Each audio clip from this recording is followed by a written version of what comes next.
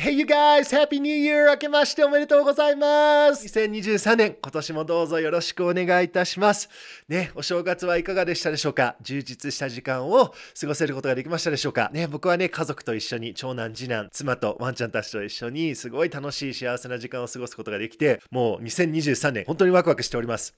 でね、やっぱりね、この2023年をどうやって有効にしていくのかっていうのを考えると、ゴール設定っていうのがものすごい大切になると思うんですよね。これ本当に最近のね、ドーパミンの脳科学の研究とかで明らかになったんですけれども、正しいゴール設定を行うと、自分を本気にさせてくれるんですよね。このデータをベースにしたゴール設定のワークショップを12月30日の朝に僕ライブで行いました。で結構ですね、自分なりでいいのもあれなんですけれども、いい感じのウェビナーだったので、YouTube にもアップさせていただきます。本当にね、この今年のゴールが明確になって、本当に燃えられる、自分が本気になれるゴールが見つかってくると本当に思います。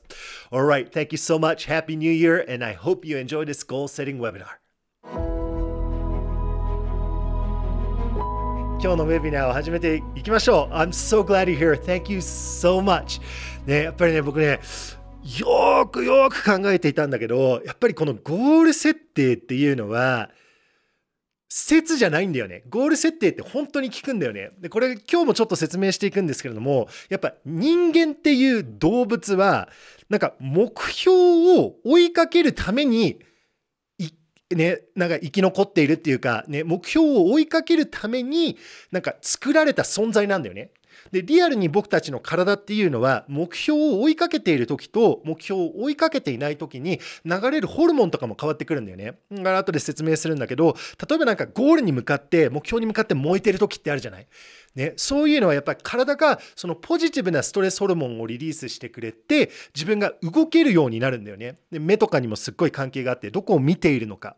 ね、で本当に実は目をなんか目標を見るだけで自分のあの心拍の血液のなんかアドレナリンがリリースされるんだよね。リアルに。本当にね。ドーパミンとアドレナリンがリリースされて血液血圧の高い数字が見るだけで高くなるんだよね。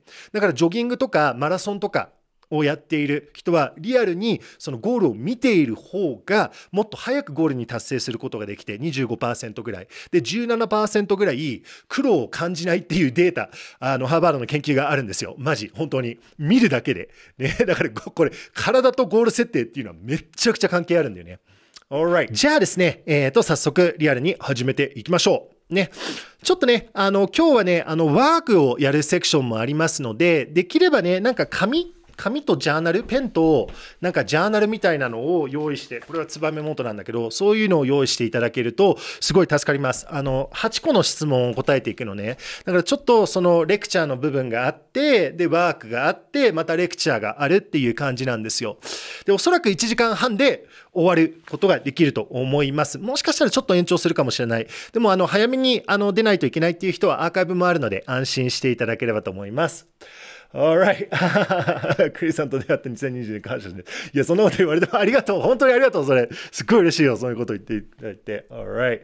ああ、ありがとう。Alright. じゃあ楽しくやっていこう。Alright. で、僕ね、本当にこれ脳科学的にもそうなんだけど、ゴールセッティングっていうのが人生を変えてくれると思うのね。これがなんか土台になると思うんですよ。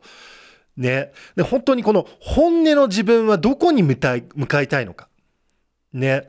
だから、よく考えるとさ、ね、僕も昔グレー企業で、ね、朝6時半にさ、ね、その職場の前に来て、ね、その200円のゆで卵の、なんか、あの、ヌードル、そば食べてさ、ね、夜11時半、12時まで働いてて、週末も事務所に行って、ね、で、めっちゃくちゃ行動をとってるんだけど、ね、自分が望みたいところに向かっていなかったんだよね。例えば僕は左に向かいたいっていう感じだった。だけど、僕は実は右に向かって行動を毎日とっていたんだよね。一生懸命働いているんだけど、自分が向かい、向かいたくないところに実は進んでいたんだよね。So it's, it's really, it's, it's pretty deep. 結構深いんだよね、このゴールセッティングっていうのは。本当の本音の自分、あなたはどこに向かいたいのか。どういう人生を生きていきたいのかっていうのが、この今日のテーマ、Intensive Goal Setting のテーマになる。ね、本当に今日のワークで、本当に来年とかも変わってくるから、来年、再来年とか、4、5年後とか、本当に。で、結構深いワークやっていきます、今日は。ね。で、よく考えると、ね、なんか本音で生きるっていうのをやっていると、ね、必ず自分の成長につながるんだよね。で、その、なんか、都合がいい時だけゴールセッティングやるんじゃないんだよね。都合がいい時だけ本音で言おう。ね、今日上司がいて怖いから、今日上司の機嫌がやばいから今日は本音じゃない人生を生きようじゃなくて、ね、やっぱ都合が良くない時でも本音でいかないといけないんだよね。で、それが自分のステージアップ、成長につながるってことだと思うのよ。で、本当にこれをマスターできるようになると、自分のスーパーパワーにつながるんだよね。リアルに。本当にこのホルモンとかにも変わってくるのよ。ストレスホルモンとか。かみんな燃えるっていう、ね、そういう言葉、本気になるって。ね、で本当に行動力も高まって自然にダラダラしなくなってもう本当にトントントントン動けるようになる、ね、覚悟が決まっているみたいな感じになるんだよね。だからそのレベルのゴールセッティングっていうのはマジ自分のスーパーパワーもしかしたら今まで気づいていなかった力につながるっていうのもあると思うのね。ね。だからこういう有名な人、ね、マイケルマイケル・ジョーダンとか、ね、私はゴールセッティングをしっかりと信じている。それ以外に成功する方法はないと思うとかここまで言うかみたいな感じなのよ。ね。で、アインシュタインも、ね、あなたが幸せな生活を送りたいのなら、それを人や物ではなく、目標に結びつけてくださいって、ね、言っているんだよね。で、でも、ゴール設定っていうのは、いろんなレベルがあるんだよね。ね、例えば年末年始に僕が昔なんか本当になんかやってたのは、結構18年前とか20年もっと前やってたのはなんかあのあなんか今年なんかヨガやりたいな OK 今年の年末年始ねヨガの目標目標やるみたいな感じでそういうのをやってたりなんかダイエットするみたいな感じででリアルに行動につながらない。ダラダラしている。ヨガやらないといけないとか運動しないといけないと思ってるんだけど運動していない。で3日坊主になってマジ2月には諦めてる。みたいな感じなんだよね。でも深い効果があるね。今日やっていくようなレベルのゴール設定をやっていくと、ね、人生変わるんだよね。だから、効果があるゴール設定をしないと、本当にやっぱ仕事に対してやる気を出すっていうのも難しいと思うのね。ね、特にその仕事が自分の向かいたい方向につながっていない時、ね、本当は左に行きたいんだけど毎日右行ってるみたいな感じ。ね。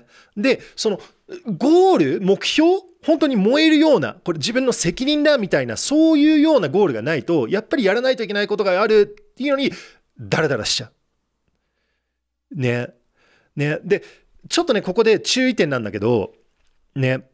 これやっぱ脳科学とかを勉強していくと、ちょっとね、これね、ちょっとみんなに説明しないといけないことがあるんだよね。あの、2020年ぐらいから、あの、脳科学の素晴らしい研究が、あの、出てきたのね。世界で。特にアメリカのスタンファード大学の医学部の教授の、あの、アンドルー、あの、ヒューバーマン博士っていう方がいるんですけれども、あの、彼とか彼らの研究している一緒のハーバードの仲間とかねいろいろそういうレベルの人たちすごいこのドーパミンとかストレスホルモンの研究が出てきて本当に2010年ぐらい10年前とか、ね、5年前とかだったら僕が言っていることはただの説で終わってたのね。ね、説だったのよ。これはクリスが思うことって。でも今はこれは体とつながっているっていうのが明確になっているから、脳科学的に証明ができるのね。で、この、特にこのダラダラっていうのはね、効果があるゴール設定っていうのはね、ある意味トレーニングなんだけど、ね、行動のトレーニングなんだよね。で、トレーニングをやっていくと行動っていうのは、ね、効果があるゴール設定っていうのは、その行動する時間、追いかけるモード、自分の体が燃えて、これやるぞ、よっしゃ、みたいな、その時間っていうのを限られているように、特に朝の時間がいいんだよね。これまた説明するんだけど。ね。で、これ体には神経には2つあって交感系神経と副交感系神経っていうのが2つあって動くかリカバリーっていう感じなんだよね。でこのね効果が高いゴール設定っていうのはねその動く時間を大切にしてで、この動くんだったら、リカバリーの時間も大切にしないといけないんだよね。だから、リカバリーの時間、特に午後とか夜とかは、ね、体のこのやる気のホルモン、ね、特にドーパミンっていうのは一日限られてる資源なんだよね。毎日作られるんだけど、ね、午後になると減ってくるわけよ。で、体がリカバリーしないと、副交感系神経をアクティベートしないと、この、なんか、ドーパミンが満タンにならない。なんか、そのガソリンスタンドに行って、ね、ガソリン車に満タンにしないといけないじゃん。Right? で自分のガソリンがないのに午後とか夜にやらないといけないことがあるみたいな感じで、ね、車のアクセル踏んでるんだけど車が動かなくなっちゃうのねでこういうのもゴール設定には本当は含まれるわけなんですよ、right? このトレーニングの中にはね、right? ででやっぱそういうのを理解していないと罪悪感を感じて自分はできない人なんだって思っちゃったりしちゃうんだよねリアルにね本当に、僕本当にこれ思うのね。なんかビジョンプログラムもね、僕ビジョンプログラムっていうのコースもやってるんですけれども、それ同じなんだよね。ゴール設定なのよ。ね、このトレーニングをしないと、ね、人生の方向性がわからなくなってしまう。ね、なんか夢がないっていうか、人生の可能性を感じられない。人生立ち止まってる。または逃げようとしている。ね、前向きにストレスにリーンインしていないんだよね。ね、だから本気にもなれないわけよ。で、なんで動いてるの？行動力のベースはどこから来てるの？っていうと、恐れ？やらないといけないからっていうのが行動の元の力、原力になってると思うんだよね。ね、その達成したい、追いかけるっていう感じじゃなくて、やばいことが起こるからだけで動いてるんだよね。だから本当になんか本気になることができないわけよ。Right? で、やりたいことを考えているだけで進めない状態が続くよね。その進み方を学んでないわけよ。どうやって進むの人生。ね。進め方がわからないっていうか。ね。で、もしかしたら勉強はできるかもしれない。ね。インプットはできるんだけど、学んでいるだけで結果がつかないとか。ね。そういうレベルになる。本当にそうなると思うの。ね。だから本当にその理想な人生っていうか、理想の自分、自分を変えたい。だったら、やっぱゴールセッティングっていうのが必要になって、明確な人生の方向性、ね、本気になれる目標、これだったらやるぞって、そのぐらいのレベルの熱いゴールっていうか、で、行動が続く自分に変わる。ね。で、本当に本気になれる目標があると、自然にダラダラ減るんですよ。本当に。で、特にこのドーパミンとかのサイクル、ね、行動力のベースラインを高める方法とかを学んでいくと、リアルに変わるのね。ね。で、あの、ちなみにね、あの、フライトプログラムで、あの、マンスマンスリー、あの、コースをやっているんですよね。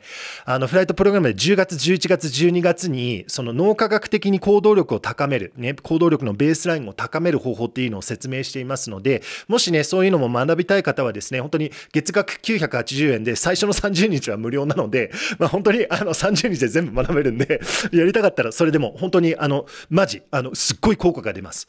うん。リアルに行動力のベースラインは高めることができるんですよ。燃料がないだけかもしれないのね。ね right. だからゴールセッティングっていうのを、ね、このトレーニングをマスターする。ね、時間かかるからね。マスターするには。マスターできるようになるともっとワクワクを感じてトントントントンやらないといけないことが自然に終わらせるようになるのね。本当に。で、仕事とかキャリアに対してもっとワクワク燃えること。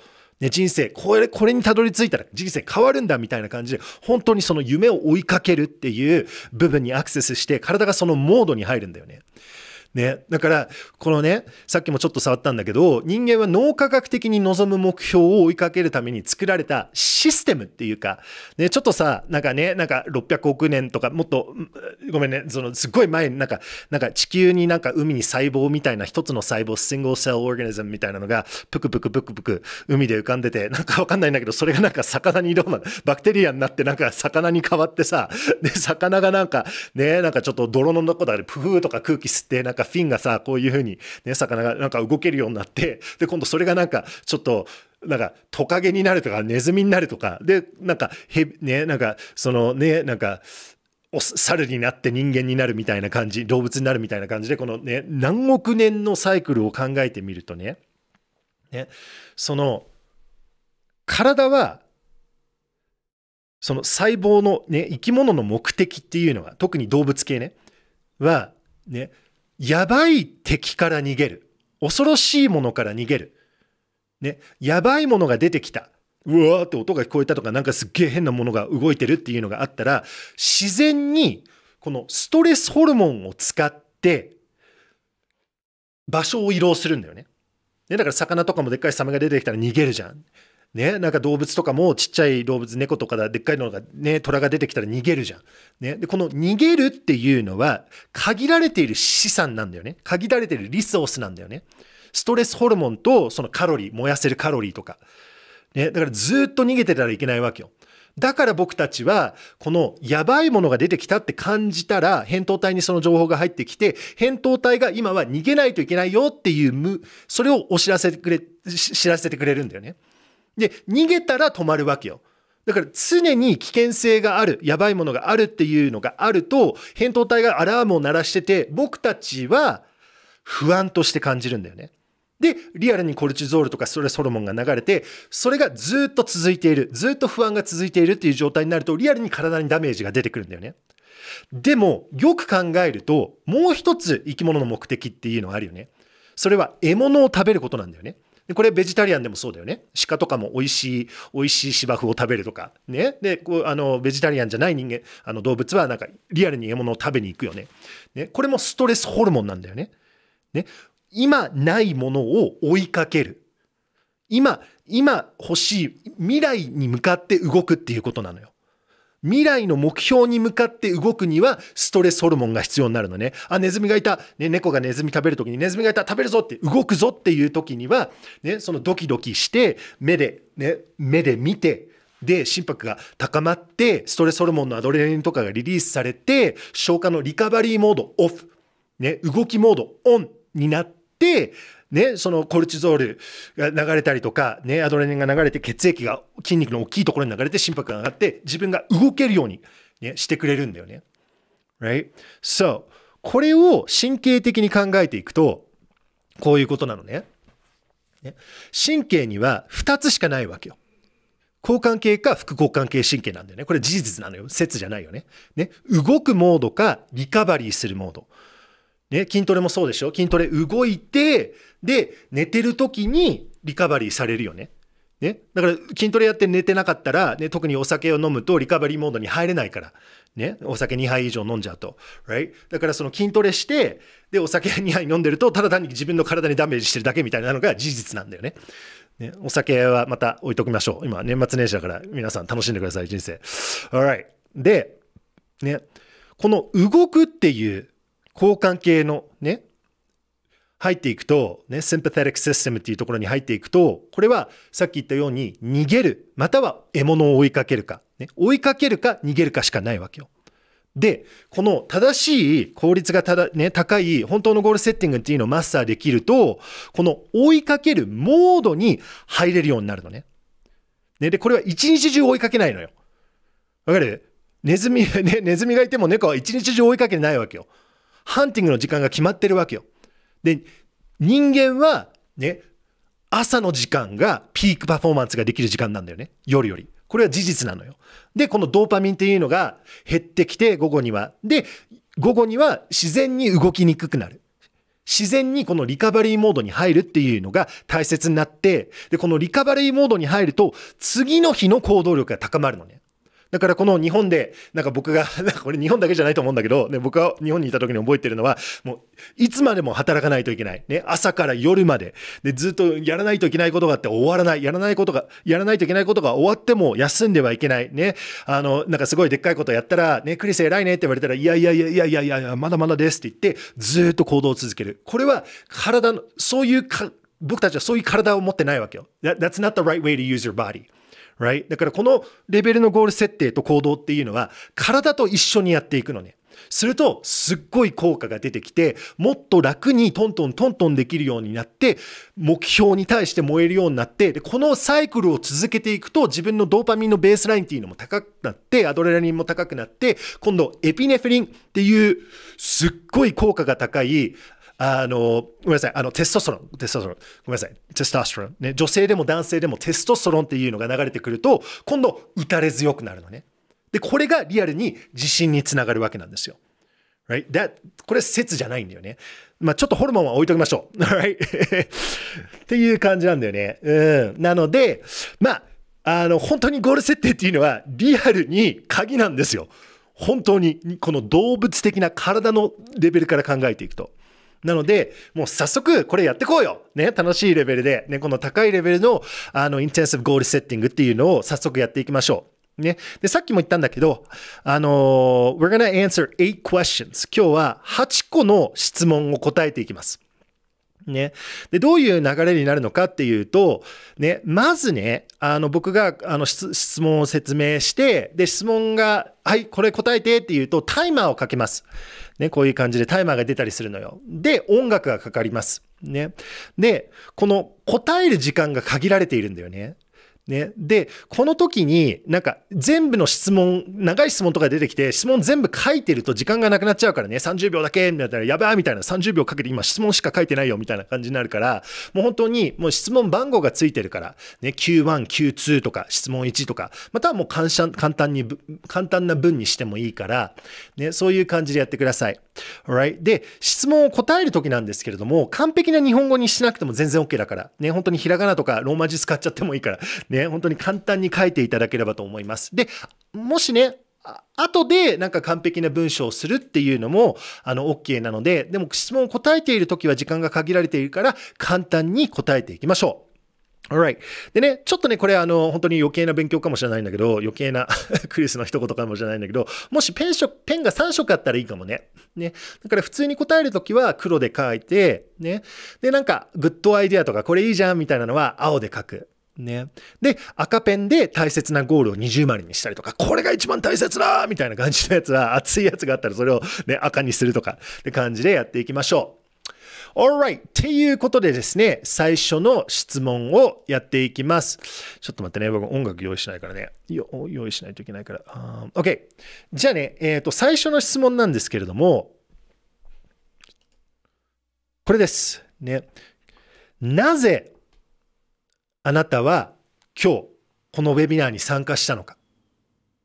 ね、このウェビナーから求めていることっていうのは何でしょう？ね、もしかしたらなんか、このゴールがあって、これをね、たどり着き、このゴールにたどり着きたいとか、ね、もっと学びたいとか、ね、なんでこのウェビナーに参加したの？それをちょっと楽しく2分の間答えていきましょう。alright. じゃあね、えっ、ー、と、音楽をかけますので、あの、ペンにね、紙を、ペン、紙、紙の上にペンで書いてください。alright. それでは、えっ、ー、と、ちょっと待って、音楽いくかな ?OK。Alright. それでは2分どうぞお願いします。ね。自分がこのウェビナーから求めていることを書いていただければと思います。それではどうぞ。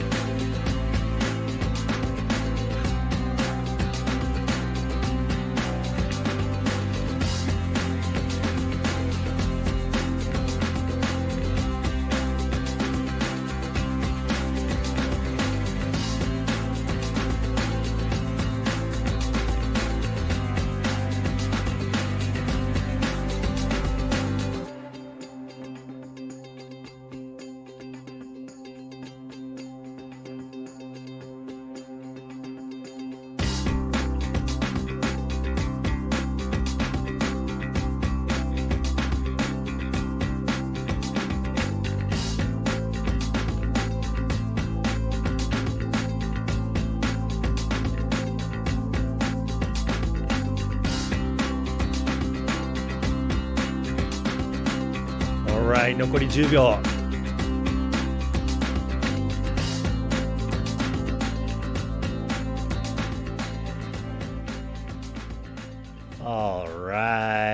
疲れ様でした。いかがでしたでしょうか？なんかね、この今日のウェビナーからね、目的みたいなのが明確になったかな。ね、そしたらそこにフォーカスしているから、もう本当に人間はフォーカスするとそこに進めることができるから、本当にこれね、あのビッグニュースなんだけど、僕個人的にはね、すごい、すごいなと思うんだよね。本当に脳科学的にそうなってるんだよね。So this is very important. Alright. じゃあね、ちょっと次の質問で答えていただきたいのは、ね、今、自分のナンバーワンのゴールって何ですか？ね、直感的に答えてください。そこまで深く考えなくていい。ね、深く考えたいんだったらね、全然深く考えてもいいんだけど、今、あなたの人生のナンバーワンのゴールって何？ね、もしかしたら来年のゴールかもしれないよね。もうこれは、もう、これは変えたい。これ達成したいとか、ね、もう本当にできれば、なんか、もう絶対のレベルのゴールみたいなのがあったら最高なんだよね。この、この、この時に。ね、もう、I, This is my number one goal. I gotta change. なんか自分を変えるとか、ここに行かないといけないとか、ね、そういうのをちょっと考えていきましょう。Alright. それではですね、これも2分なので、ちょっと音楽をスタートしてタイマーつけていきますね。それでは2分どうぞ。いろんなナンバーワンのゴールがあるかもしれないけど。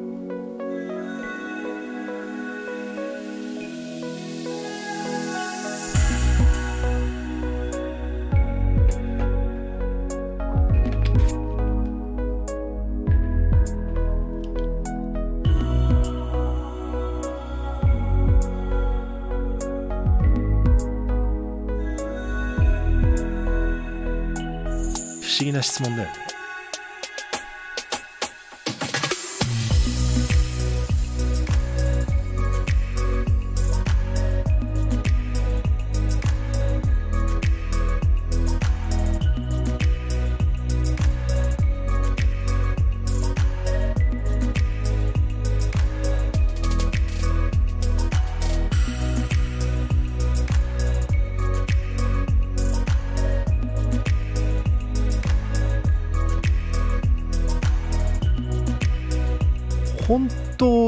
自分のナンバーワンのゴールは何にするべき？やりたいやらないとかやりたくないっていうのは置いといて本当はこれは何にするべき？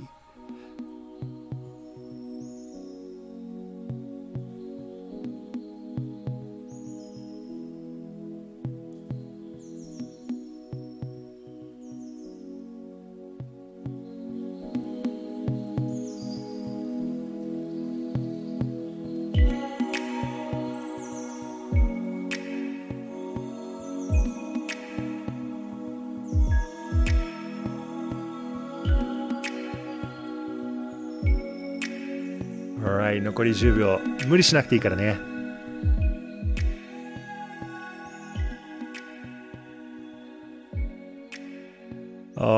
お疲れ様でした。いかがでしたでしょうか？Alright どうだろう？だからさ自分のナンバーワンのゴールって言われてもえ？ってかなる感じっていうそう感じた人いたらちょっと手挙げてくれないかな。僕もなんか知りたいんだよね。いきなりそんなこと言われてもみたいな分かんないよねって。ねそういうの多いよね。それが普通だから全然。うん。あ結構手挙がった。ありがとう。Alright ね。でなんかこれをやっているとさあなんか僕なんか仕事はこれかもしれないけどプライベートはこれだななんかワクワク楽しい系はこれで、ね、もしあの家族とかがいるで子供とかがいる人だったらなんかこうだよね、まあ、ロマンチックのゴールはこうだよねっていろんな分野があるよねよく考えると。ね、でもう一つあるのは、ね、時間なんだよね。今年のゴール3年以内のゴール5年以内のゴールっていろんなゴールっていうのが見えてくると思うのね。で今日はちょっと時間があれなのでその全部のカテゴリーはねあのやっていかないんだけど、ね、すごいいい質問があるんですよ。でこれをちょっと考えていきましょう。今いろんなゴールが出てきたと思うからね。ねそれはもう1年から20年ぐらいのゴールを考えていきましょう。ね、もう夢の夢を考えて。で何でもいい。ね、で例えば本当に、ね、この1年以内のゴールも出てくるし3年のゴールとか10年のゴールも出てくると思うんだよね。引っ越しとかも出てくるかもしれないし。だから例えば本当に、ね、自分が本当にやりたいこととか、ね、やってみたいこととか、ね、もしかしたらもっとやりたいことっていうのもあるかもしれない。またはもっと学びたいこととか、ね、なんか欲しいスキルとかある？レベルアップしたいところとか。で何をマスターしたい？何でもマスターできるんだったら。Right? なんかキャリアの目標とかある？ね、来年はこういうところまで行きたいとか、ね、もしかしたらそれ1年以上かかるかもしれないからそれも全然 OK だよ。ね、なんか看護婦になりたいとかドクターになりたいとか弁護士になりたいとか時間かかるもんね。なんか資格欲しい資格とか、ね、もしかしたらなんか副業？もしかしたら起業かもしれないよね。ねまたはもっとやっぱり働く時間を変えたいよね。痛いと痛い今の働き方はないとか。ね、もっと通勤を変えたいとか場所かもしれない。ね、で住むお家とかもそうかもしれないよね。3年後はこういうところに行きたいよなとか、ね、なんか欲しいものとか、ね、このポルシェが欲しいんだよねとか、ね、なんかこのドローン欲しいんだよとか。なんかあるかもしれないよね。ね。ペットが欲しいとか、ね、そういうのもあるかもしれないし。お庭広いお庭が欲しい。畑が欲しいガーデンが欲しいとか、ね、またどういう旅行に行きたいとか、ね、世界旅行行きたい。世界旅行行くんだったら最初どこ行く、ね、いつ行きたい？春がいい夏がいいとか誰と一緒に行くとかね、で身につけたいポジティブな習慣っていうのも出てくるかもしれないし手放したいネガティブな習慣っていうのも出てくるかもしれないんだよねすごいこれ6分もしかしたらな短く感じる長く感じるかもしれないんだけど結構時間があるのでこれを考えていきましょう Alright？なので、6分ね、本当に自分の夢っていうか、欲しいものっていうか、ね、理想なものとか、手放したいことが全部、ボンボンボンボンボンボン変えちゃってください。Alright. それではですね、タイマーを6分かけるので、ね、あの順番とか、ね、ナンバーワンとかは決めなくていいから、いろんなことをもう本当にペンを止めないで考えていきましょう。Alright. それでは音楽スタートします。Alright. タイマー6分スタートです。それではどうぞ。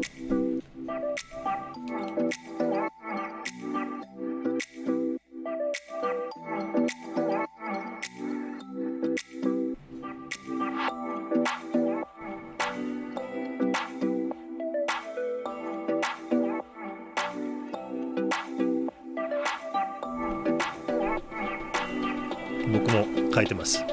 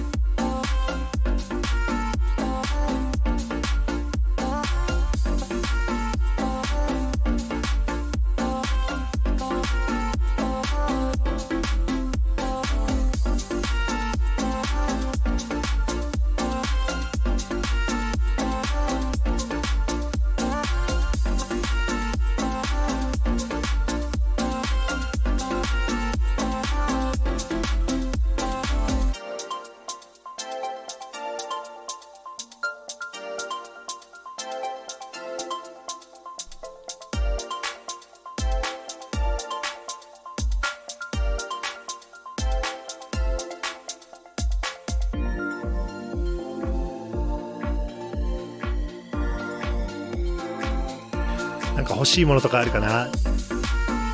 自分の部屋で欲しいもの。例えばアートとかはどう？理想な2泊3日の旅行とかは？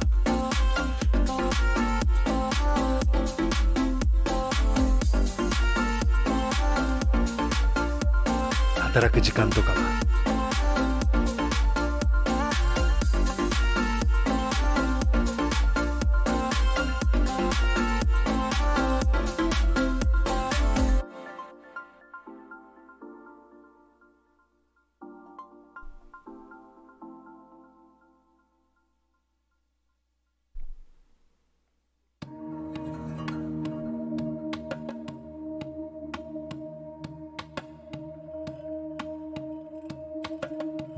17秒。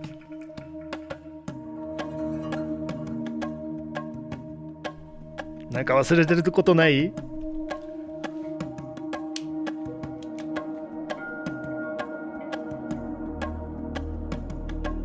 来年の夏休みは？とか。Alright, お疲れ good job! ありがとう !Thank you! 今ね、いろいろなことを書いていただいて本当にありがとうございました。Alright, いろんなこと出てくるよね。ね。Alright. じゃあね、えっ、ー、と、次の質問でやっていくのは、ちょっと優先順位っていうのをつけていきたいのね。ね、今こうやって、わ、こういうのやりたいなみたいなんだけど、今度これをキューって絞っていって、あの、行くプロセスをやっていきます。ね。なので、次の質問でやるのは、さっきも言ったんだけど、ね、どういうカテゴリーとかっていうのもあるんだけど、一つはその、1年以内のゴール。ね。3年以内、5年以内、10年以内、20年以内みたいな感じで考えることができるんですよね。だから、ここでやっていただきたいのは、ね、もし本当に黒とかで書いていったら、ね、こういう答えを黒で書いていったら、なんか、あの、青ペンがいいと思うんだけど、まあ、青ペンで書いていたら別に 黒でやってもいいと思うんだけど、赤ペンとかでもいいんだけど、ポイントはね、その1年以内のゴールに、ね、1ってつけましょう。横に1って。1丸ってつけてもいいし。で、3年以内のは3って書いて。で、5年以内のは5って書いて。10年以内は10。20年は20って書いていきましょう。Alright? だからちょっと説明するね。ね。だからその書いたリストから1年以内に達成したいゴールに1って書く。ね。同じように3年は3。5年は5、10年は10、20は20って書いていただければと思います。Alright. じゃあね、これ、えっ、ー、と、半分に、何これ、1.5?5 分。だから90秒。ね、ちょっと早めにやっていくので、そこまであの、あのね、なんか真剣にやらなくてもいいんだけど、これはね、なんか6年か5年か分かんないなと思ったら、とりあえず5でいいよ。別に10でもいい。ね。Alright. So, これをやっていきましょう。それではですね、ちょっと音楽また開始しますので、えっ、ー、と、90秒、ちょっと1.5秒。ちょっと、ちょっとストレスをかけるみたいな感じで、今のリストを見直して、1年以内のは1とか書いていきましょう。それでは、どうぞ。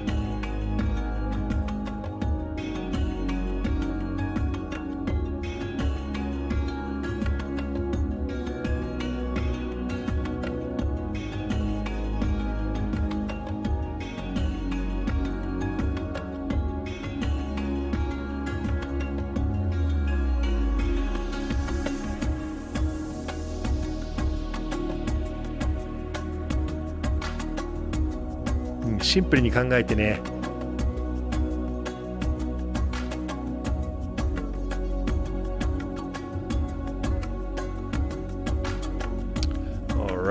お疲れ様でした。どうだろう。なんか圧倒的に僕のは1年以内のがすげえ多かったっていうの気づいたんだけど今やっててこのワークやってて。なんか3年以内とかこれは5年以内でいいやとか。なんかあってね。結構なんか いい人になるとか 書いてあってもっと優しい人になるとか子供とキャンピングするとか。でなんかずっとドローンのライセンス欲しいなとか思ってたんだけど今真剣に考えたらこれ5年以内でいいやみたいな感じになって。うん、えー、なんかサウナ欲しいとかまあこれ3年以内でいいんじゃないとか。うん。OK。いろいろね、明確になってきたと思います。Alright。じゃあね、えっ、ー、と、次のステップをやっていくんですけれども、その前にね、ちょっと前質問が来ていて、この、あのね、ちょみんな Q&A っていうボタンがあるじゃん、下に、あの、ライブの下に。で、ちょっとこれアーカイブでは見れないんだけど、えっ、ー、と、これ皆さん見えると思うんだよね、質問を。Right? Anyone?、Um, いや。で、私は夜型でどうしても朝金にすることができませんっていうね、これね、あの結構ね、特にダニエル・ピンクさんの本で、ちょっと日本語の名前は忘れちゃったんだけど、その人は、ね、超朝型と普通の朝型と夜型があるよって、ね、で夜型はある、フクロウ系って呼ばれているんだよね。ね、結構前まではその夜型を変えることができないってみんな思っていたんだよね。でこれが本当だと思っていたんですよ。でも、えー、と2017かな？18年の17か18のカラダ大学の研究によってっ夜型の大学生をいっぱい集めてきてで2週間で朝型に変えることができたんだよね。でこのやり方についてはまたなんか YouTube とかで説明するんだけどリアルは人間っていうのはあの朝方になることができるんですよね。まあ、もしかしたらなんか脳になんかね脳の脳の病気とかとか脳の一部がなくなっているっていう人はまたちょっと違うかもしれないんだけどあのそういうねなんかあのすごいエクストリームな場合ではない限りはあの人間は実は朝方になることができるんですよね。これはリアルに本当のことなんですよ。ね、どうやってやるのかっていう鍵は朝太陽を見るっていうことなんですけれどもあのこれもねちょっとやり方はあそうだやり方フライトプログラムの10月のレッスンに入ってるよ。うん、でそれをやっていくとリアルに朝方に変えることがあのできます。本当に。ね、これあの照明夜の照明とかあの朝の太陽の光にすごい関係が出てくるんだよね。それをキープすると朝方になることができるんですよ。約2週間ぐらいで。だからあの夜型僕もなんか夜型しょうがないなと思ってたんだけどリアルに変えることができるっていうのは事実でした。ね。Alright. じゃあね、ちょっとゴールセッティングに戻りましょう。大丈夫みんな。ちょっと、ちょっと体を動かして、ふうふう、だから深呼吸。うーってちょっとストレッチして、今結構ね、ワークやったからね。Alright. じゃあね、今、あのね、いろんなゴールを書いていただいて、で、リスね、1年、2年、3年とかやっていただいやっていただいたんだけど、次はね、この1年以内のゴールだけを見て、で、その中の、ね、来年のトップ3を見つけていきたいのね。Right? So, ね、今優先順位つけました。ね、Q5 はこれです。ね、1年以内に達成したいゴールの中からトップ3を選びましょう。やべえな、結構あるな。ね、でもなんか僕もなんかあるんだけど、なんか読んでるだけでワクワクするような、なんか自然に燃え始めるみたいなのない？ね、本当にこれがあったらやばいよねみたいな。でもしかしたらやらないといけないっていうのもあるかもしれないし、これはマジなんかこれできたら最高じゃんみたいなのも出てくるかもしれないんだよね。ね。Alright. なので、このリストの中から1年以内の夏のの、えーと、トップの3を選んでいただければと思います。Alright. それでは音楽をスタートするので、1分間しかないからね、ちょっと早めにやっていきましょう。Alright. それでは1分どうぞ。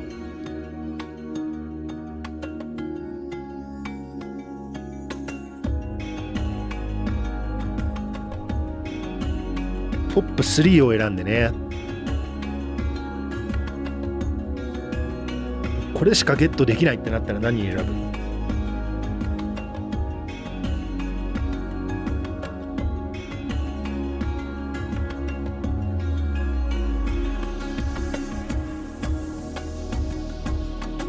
赤ペンで金丸をつけて。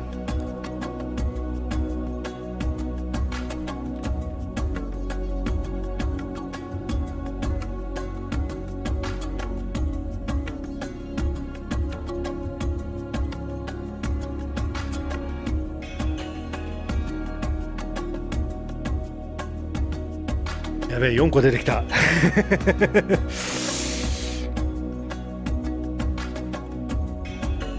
決まったわ OK どう？決まった？決まったらね、もしやりたい人はぜひコメントで教えてください。すると僕も見えるんだよね。さっきちょっと Q&A のところでね、あの、すごいいい答えをいただきました。ありがとう。この、うん。OK。Alright。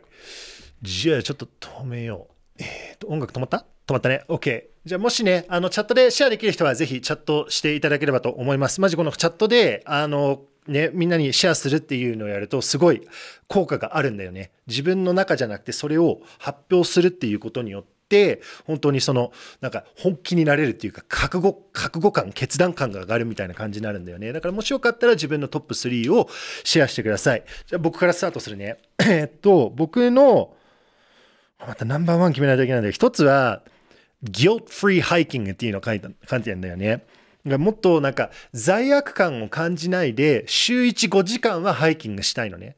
ねマウンテンバイクするとかドーンとドローン飛ばすとかブルーがいるんだけどブルーと一緒にキャンピングやったりとかあの週5時間はもう罪悪感なしで自然の中にいたいっていうのが今年のゴールのトップ3に入りますでもう一つはあの僕の長男とキャンピングするこれはもう絶対今年やります春か夏になったら I, I have to do that ねで、もう一つは、あの、YouTube なんだよね。YouTube の、このスタジオをもっと良くして、YouTube を復活するっていうのが、僕の今年の、いや、恥ずかしいね、これで言うのね。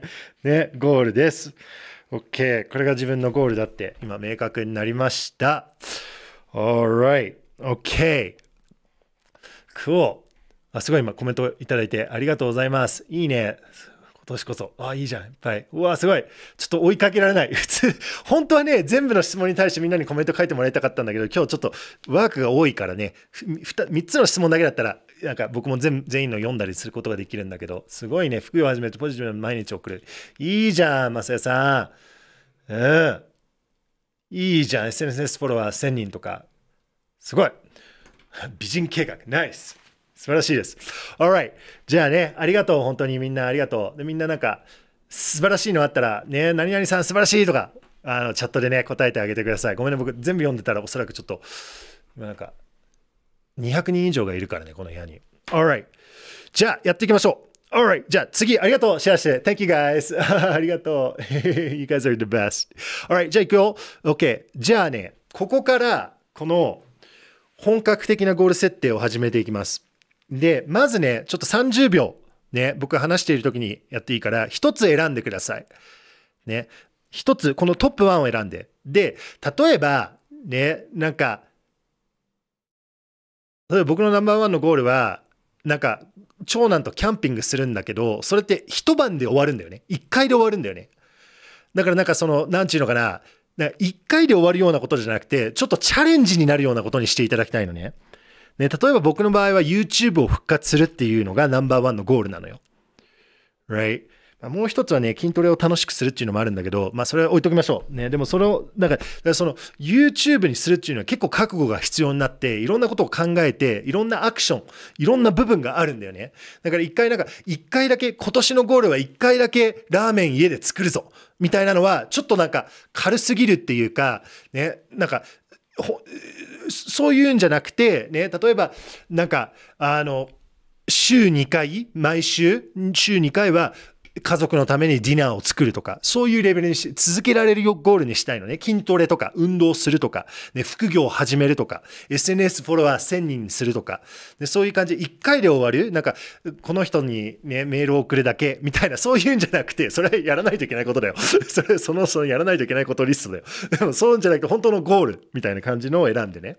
Alright? なので、ちょっと30秒を時間、あの、音楽かけるから、このトップ1を選んでください。で、トップ1とトップ2が同じななんだけど、わかんねえよって言ったらどっちでもいい。ね。どっちでもいい。とりあえず1個選んでください。Alright? So, let's start this music, buddy. うん。そういいじゃんね。行動し続ける体力とか、うん、メンタルカウンセラーになるとか、そういうことよ。そういうことよ。うん。YouTube 楽しみですってありがとう。うん、いいじゃん。ね。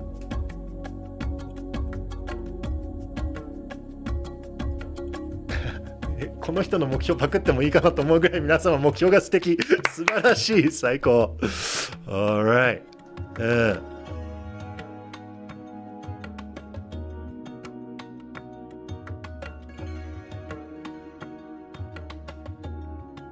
あ、いいじゃん。Find negative core beliefs and heal them. OK、30秒だったね。OK、ごめんね、僕ね。こうやってね、ウェビナーが楽しくなって、いつも時間オーバーしちゃって怒られるんですよ。すいません。楽しいもんね。Alright。じゃあ、1個、1個、1個選べたかな？トップ1。OK。じゃあ、ちょっとこれから、えっ、ー、と、面白い情報を皆さんにお伝えします。すごい人生を変える現実的なヒントっていうのがあるのね。でどういうことなのかっていうと、ね、今いろんな研究が出てきてゴール設定の研究とかが出てきてすごいドーパミンと体に関係があるのね。これこれリアルなんですよ。だから本当に人生変えたいんだったら体を学ぶところから始める。It's really really important. ね。だからさっきさんからね Q&A で学生で朝8時から部活があり朝を活用して TOEIC の勉強をしたいのですがなかなかできません。練習も肌で夜勉強体力が残っていません。ね。おそらく寝る時間が10時以降でね、そのリカバリーしている時に勉強しようとしてアクセルを踏んでいてで10時から朝の2時の間におそらくスマホとか光を浴びてるんだよね。勉強のために光つけてるとか。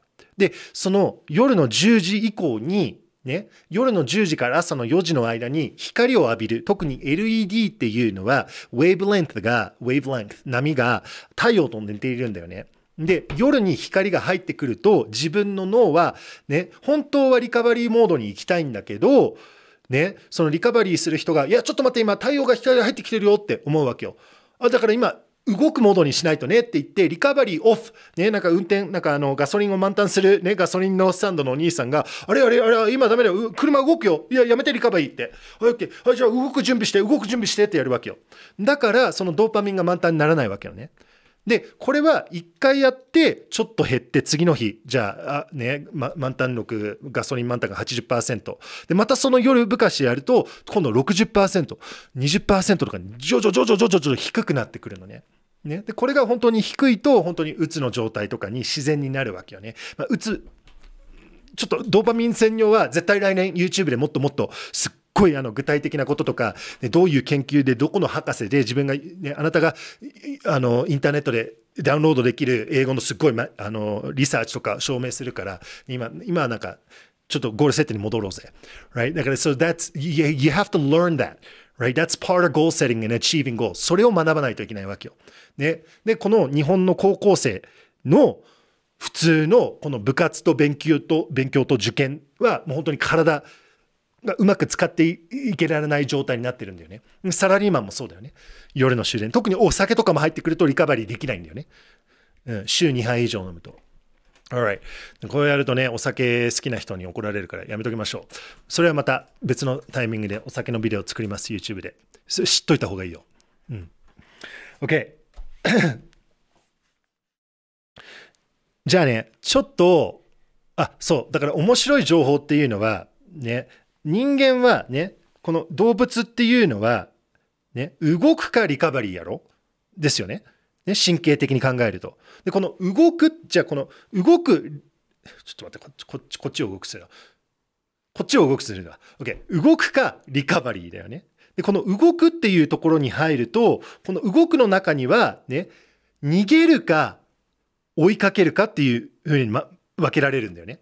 本当は、あの、追いかけるか立ち止まるか逃げるかなのよ。で逃げようとしているんだけど壁に当たって逃げられないってなるグレー企業仕事辞められないってなると自然に鬱になるんだよね。Right? でこの動くぞっていうことを考えていってね面白いことがあるんだよね。実験があったんだけどね目標達成するときに、目標設定するときに、イメージングがいいよって言われるじゃん。ね、オリンピック選手はなんかね、目を閉じて、なんかね、オリンピックを勝っているのを想像しているみたいな。ね、で、面白い実験があって、ね、追いかける、目標を達成するビジュアライゼーション、ビジュアライゼーションっていうのかな？ビジュアライゼーション、right? 想像する。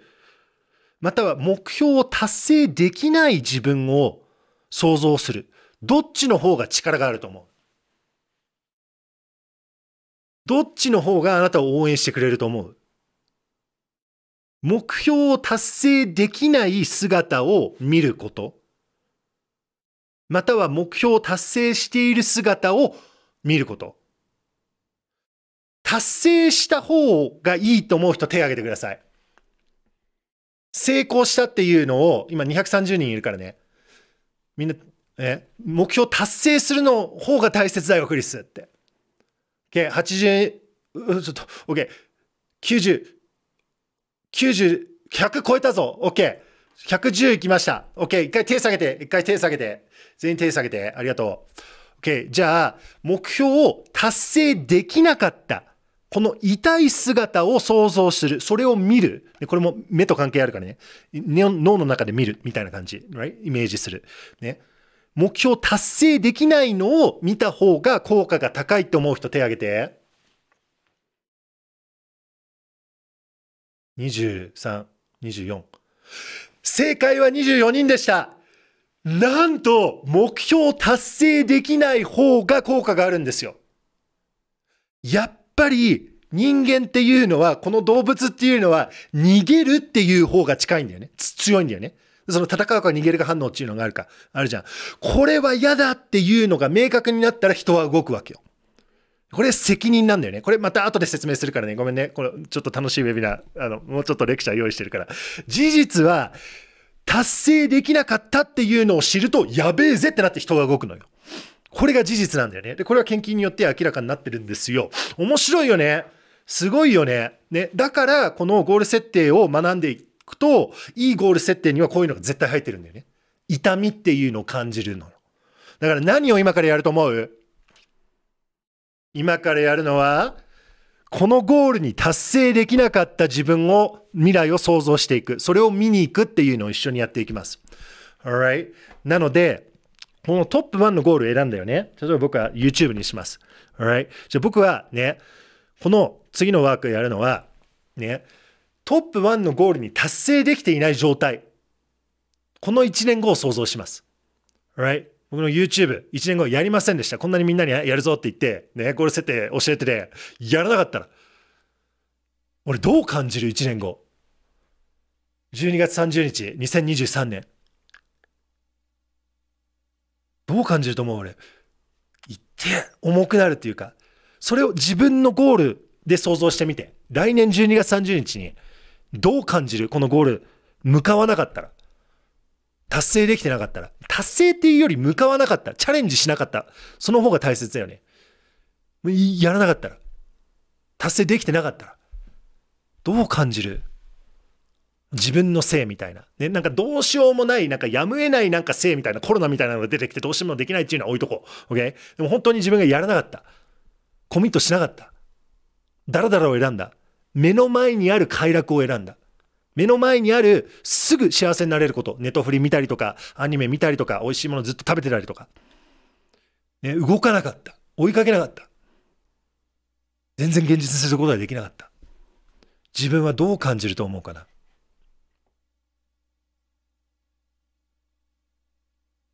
ちょっと想像してみて、1年後。どういう感情になってると思う？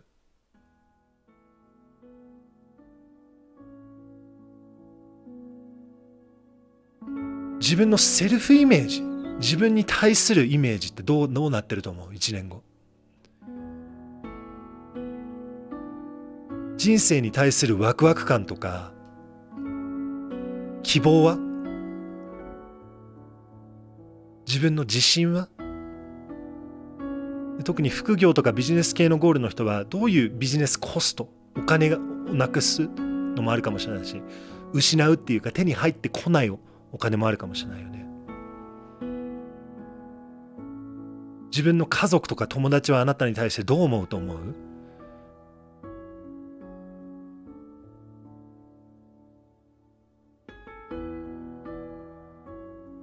じゃあ2年経った。2年後。2024年の12月30日。どう感じると思う？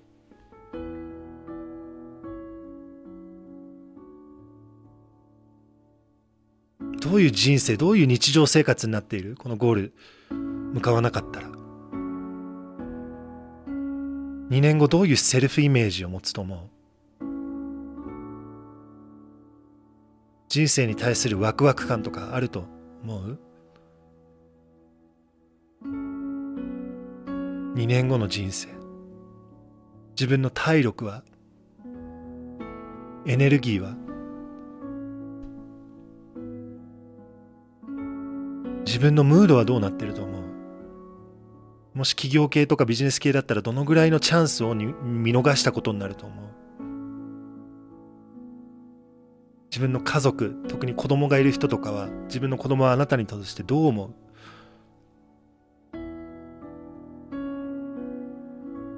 もっといこう。45年後。5年後にしよう。2027年か。動かなかった。5年間。何を見逃す？どういう経験？人生に対してどう向き合っていると思う？続く不安とか恐れとかがあるかもしれない。じゃあちょっと2分間この感情をね書いてください。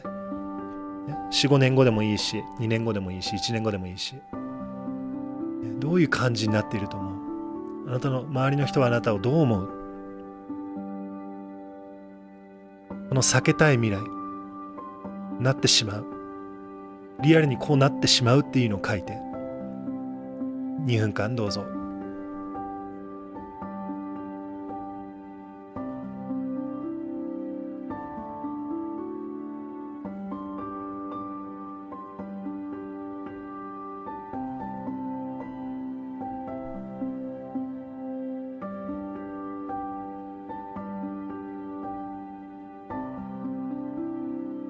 どういう辛いことが続く？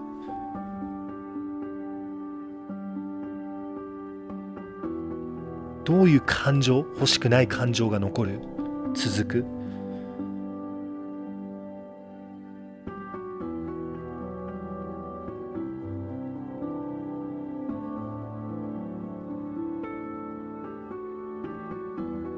自分に対するセルフイメージは？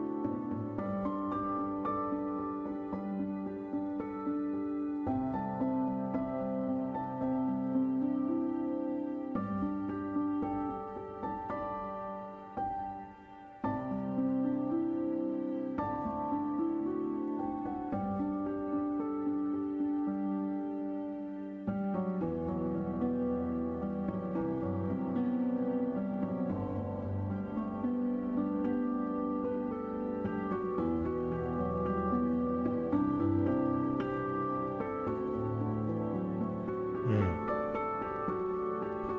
ね本当に圭介さんが言ってるように生きてる意味が分からなくなるっていうのを僕も今感じてたんだよね。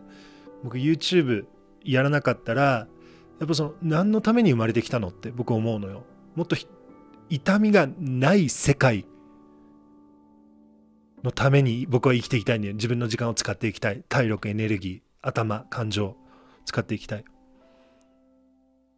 それをしなかったら僕は人生失格だと思うんだよね個人的にね僕の僕の場合はねこうやってなんか YouTube っていうメディアがあってそこでこういう情報を広げて人が幸せになって世界が変わるような、ね、ことをやらないっていうのは本当に僕は心が痛くなるような感じなんだよね。うん、いやコメントいっぱい書いてくれてありがとう。あっという間に年を取る空間の書。うん。自分の価値を全く感じられず、もう嫌だを全身で感じて、すっごいコメント来て。ありがとう。Alright. じゃあ、ちょっと、この、ね、ね、で、あと、あ、こうだよね。これ今このワークやったから、OK。じゃあちょっと、alright. So, let's shake it up. Shake it up, shake it up, ウフフタイラー・スウィフトのさ、テイラー・スウィフトの Shake it up で、ちょっとこう、ブーバーとこの、ね、このエネルギーをちょっと洗うみたいな感じで ね、ふーってやって、よしで、じゃあ今度あなたが、この来年、この1年間マジ本気になってこれコミットして、来年の2023年、12月30日、達成できてたらどうなる人生？どう感じると思う？これマジできてたぞってなったら。ね、どう感じると思う？マジ本当にこの、ね、ゴールに達成できて行動をとってやったぜってなったら、どう感じると思う？来年、1年後。Right? ちょっとそれを考えていきましょう。ね。だから、マジ本当に、なんていうのかな、あの、ちょっと音楽かけるね。うん。だから、ちょっと本当に、この1年後自分のセルフイメージどう変わると思う？これ本当にできてたったら。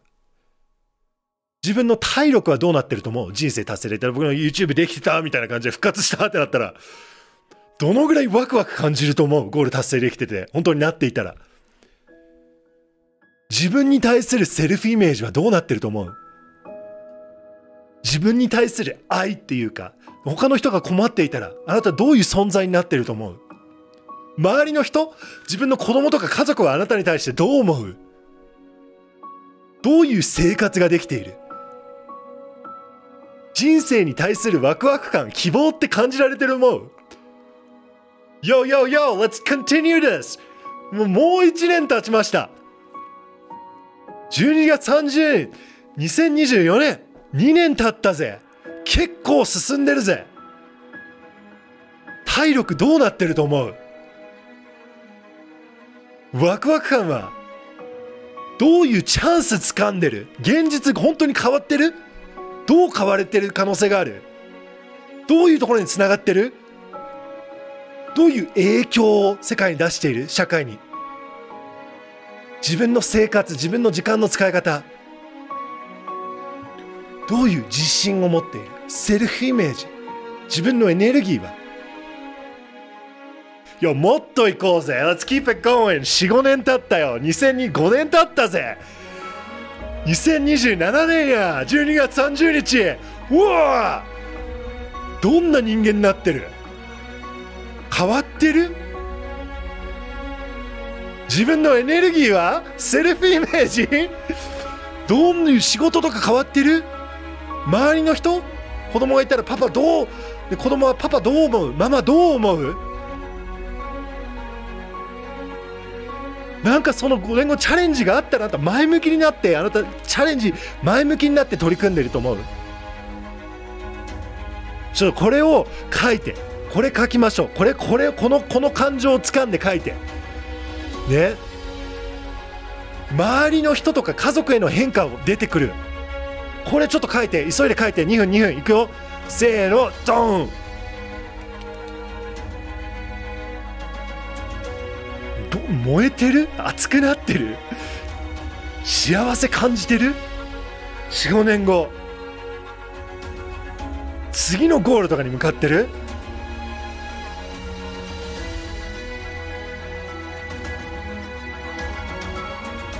朝起きたらどんな感じで朝起きる？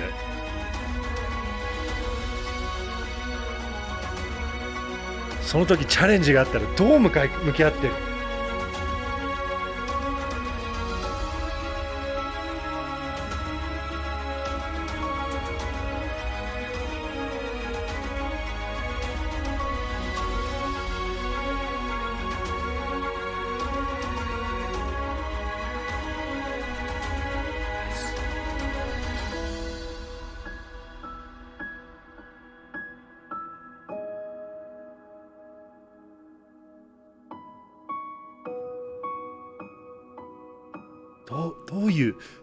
感謝を感じられるかな。本当にそこになってたら5年後とか。愛せる人生って思う。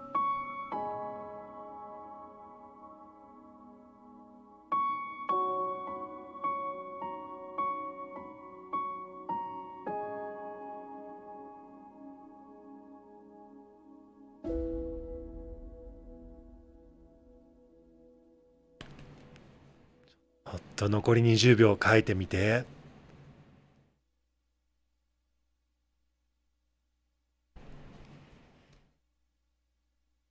感覚を忘れないでね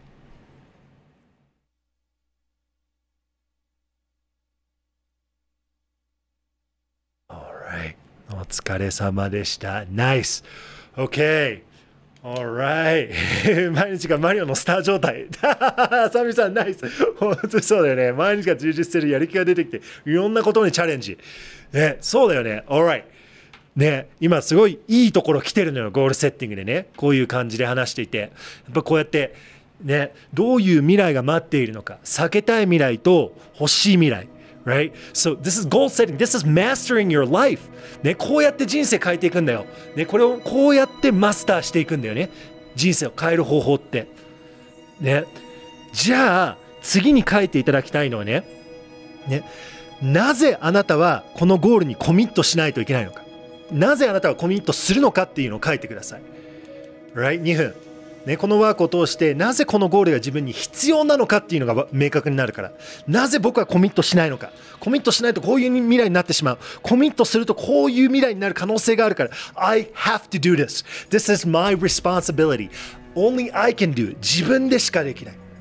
自分のパワー、ね、これを2分書いていきましょう。Alright それではどうぞ。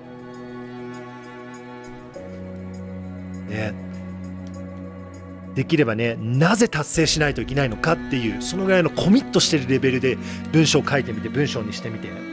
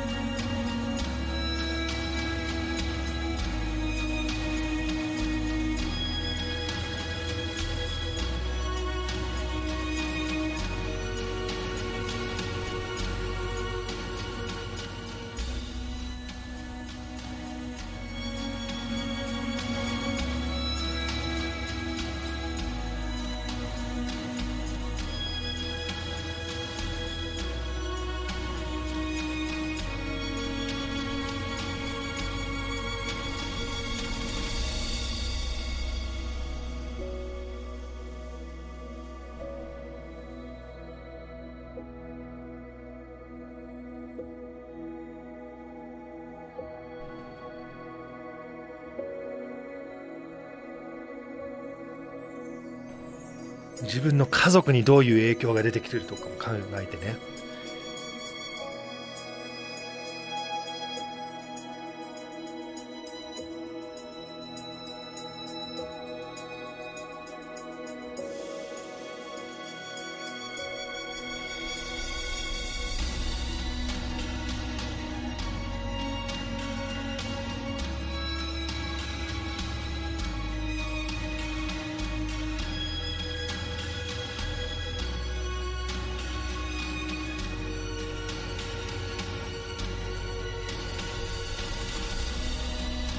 とねボーナスワーク入れるんだけどねどういう人にならないといけない？このゴールに達成するためにはあなたはどういうキャラクター性を持たないといけない？どういうマインドセットを持たないといけない？どういう人にならないといけない？希望を持っている人諦めない人ねその亀のように動きを続けられる人前向きになるとか、ね、インスピレーションを感じている人とか、どういう人にならないと、あなたのゴールに達成できない？それちょっと、ね、1分考えてみよう。これ、ボーナス、ボーナスで。どういうキャラクター性を持たないといけない？今ないかもしれない。今あるかもしれない。もしかしたらアクセスしないといけないかもしれない。身につけないかもしれない。ね、どういうキャラクター性を持たないといけないのか？っていうのを考えてみましょう。Alright? なので、ちょっと1分間、これボーナスワーク入れておきますね。どういう人にならないと達成できないこのゴール。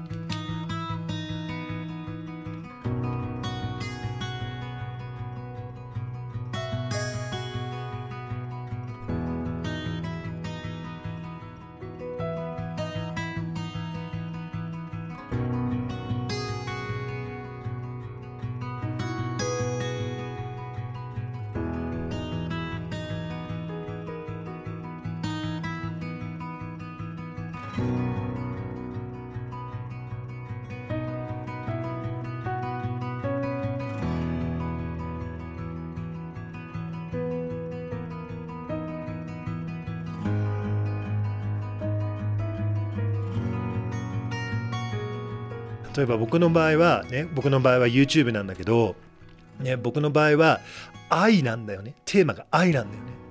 愛が一番上にある。でもちろん伝える情報とかも大切なんだけど愛なんだよね。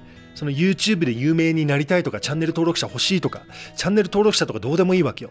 その人一人見てる人一人にもう心で入って応援して一人じゃないよって。一緒にいるぜって。やってこうぜって。それを常に前それを優先順位っていうかそれを思っているキャラクターっていうかそその人にならないといけないんだよね。僕のためっていうかその人のため一緒にいるぜって。それが僕今どうそういう人にならないといけないって今書いてたんだよね。いいじゃんさいじゃあちょっとねあのゴール設定ちょっと音楽変えてね。うん。Keep better, oh, keep better おかちの曲みたいな Alright じゃあちょっとレクチャーの部分に入っていきたいんですねすぐすぐ終わるから本当にすぐ終わるから Alright. じゃあ、ちょっとね、こういう感じでゴール設定やっていて、今、皆さん結構深いレベルのゴール設定やっていたんだよね。そのゴールを自分の destiny にする。自分の destiny って何て言うんだっけ？日本語で。